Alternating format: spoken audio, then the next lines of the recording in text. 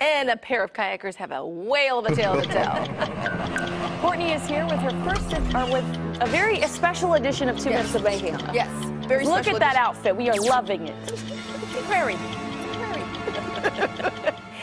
Ladies. Okay, you know, it's a fish eat fish world out there, but somebody has to bring home the mako at the end. Mm. Uh, Two kayakers at it, uh, to Itasca State Park in northern Minnesota caught quite the sight over the weekend. It's a muskie's fish eating a northern pike. Look at this.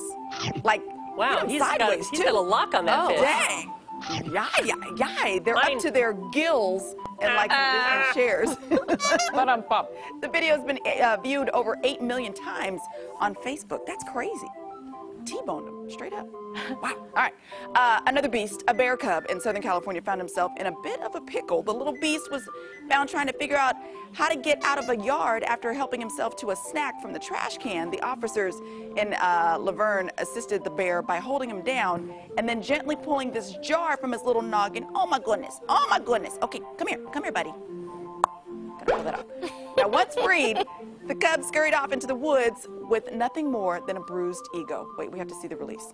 Come on, come on. Oh. Oh. There we go. Okay, now everybody back up. go! Go! Go, boo boo.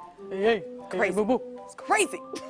okay, so now I take you to Florida. As Cody would say, it's not two minutes of mayhem without a story from Florida. a woman in Florida has a shocking commute to work. According to police, a lightning bolt came down about 100 yards away and the electricity was picked up by the metal in her umbrella. Oh. Hmm.